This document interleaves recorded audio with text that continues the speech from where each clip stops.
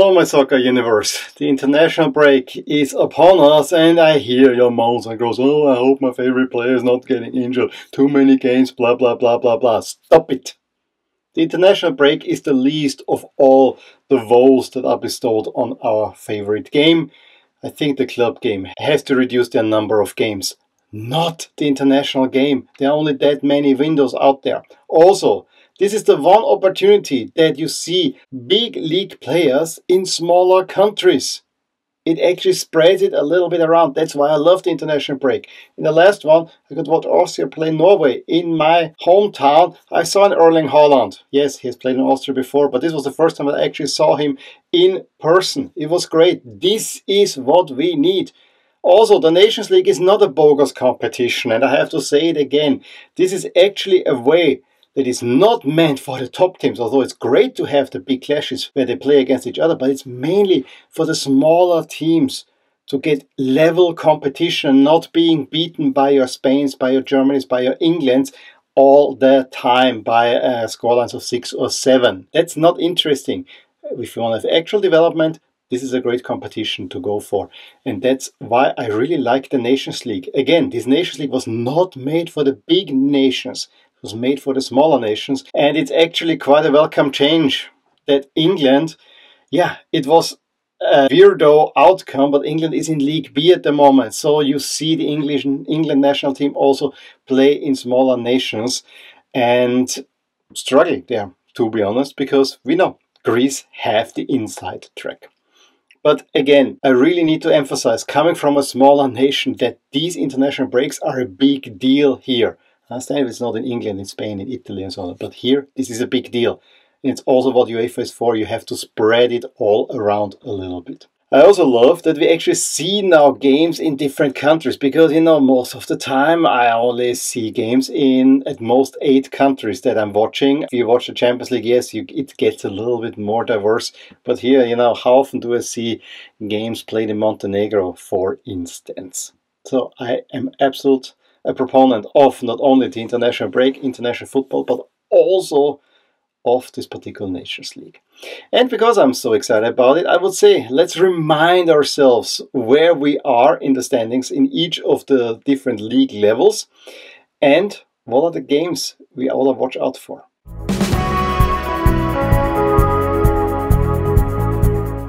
Let's start on the bottom, League D. In Group D1, we have Gibraltar having a slightest of margin over San Marino ahead of Liechtenstein. But this group is still wide open, especially since San Marino have two games. They play all of their opponents. Should they win out, they will qualify. However, San Marino don't win that many games. Whereas in Group D2, Moldova actually missed a big one by losing to Malta away from home, which actually keeps it rather open for them. Malta still have a chance. Andorra will actually decide how this group will go. So let's look into the final games. With a win in San Marino, Gibraltar can already qualify, whereas Moldova actually need to get something out of Andorra, most likely even a win, and then hoping that Malta don't beat Andorra by a whole lot. Should San Marino not lose against Gibraltar, a win in Liechtenstein will see them through. So that's actually quite interesting. And I have to say, I put quite some focus on League D more than I would put on League C, for instance.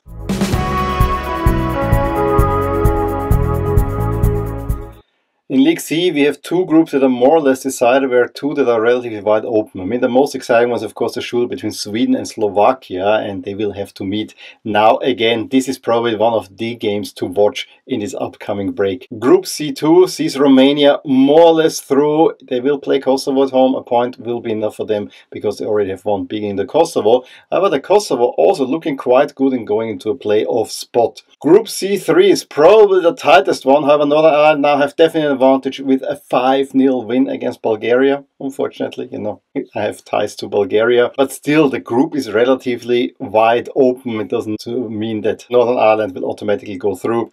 And then Northern Macedonia is already through and it's only for second place where Armenia should have the inside track.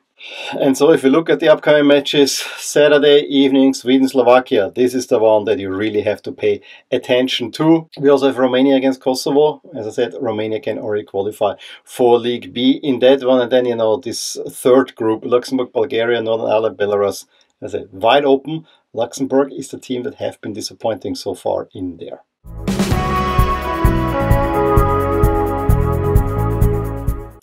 I would argue that League B is probably the most interesting one at this very moment because we have three groups that are really open and one we have a straight shootout for first place. So let's go through it. Group B1, Czech Republic, Georgia, Albania, Ukraine. It's anyone's guess who will get through there. This is the most even group, really an exciting one.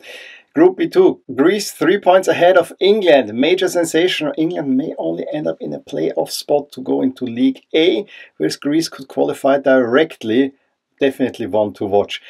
Group B3, also wide open with three teams tied on top on seven points. Austria, of course, having this big win against Norway, also a big win against Kazakhstan. They have to go now to Kazakhstan. And I hope that Norway does not beat Slovenia. Then I think it looks good for Austria. And then Turkey and Wales is also two teams that gunning for the first uh, spot, but it's more or less decided one of those two will be promoted, most likely Turkey. And so here are the big matches in League B. We actually have Kazakhstan, Austria, as I said. Austria need to get at least a point and then hope that Norway doesn't beat Slovenia. Even if Norway should beat Slovenia, then Austria need to win. Then you have a straight shootout in Vienna against Slovenia. In Greece hosting England, that could already tell us a whole lot. A draw is already enough for Greece to qualify directly for League A because twice they might it's head to head that decides it. Then we have Turkey against Wales, another pretty big one, and Georgia, Ukraine, Albania, Czech Republic.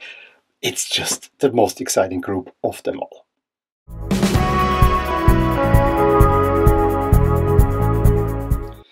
While we get some big name fixtures in League A, I would argue that all of the groups are more or less pre-decided because it will not matter much whether you're first or second in a group. Yes, first place teams play second place teams, but we know already from the Euros it doesn't necessarily mean all that much. But running through groups, Portugal already through, Croatia, will most likely get second place. We have Italy, France, Belgium. That's a little bit more of an exciting one. However, Italy and France are both in a really good position. And I would even think that France might win their group. Although I would love if Italy could do so. Germany and the Netherlands also both are favored. Although the Dutch need to hold off the Hungarian threat We'll see about that.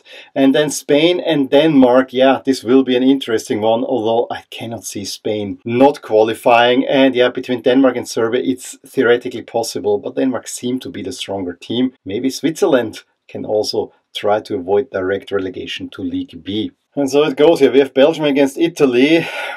This is actually a big match for Italy. I think they should get at least a point there and then a high security match between France and Israel. Denmark hosts Spain. If Denmark want to win that group, they need to beat Spain.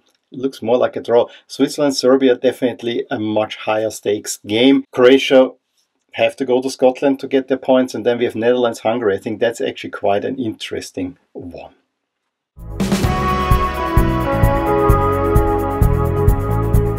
So this is where we are for this international break, at least for the first few fixtures. There's also World Cup qualifying going on in Asia and in South America.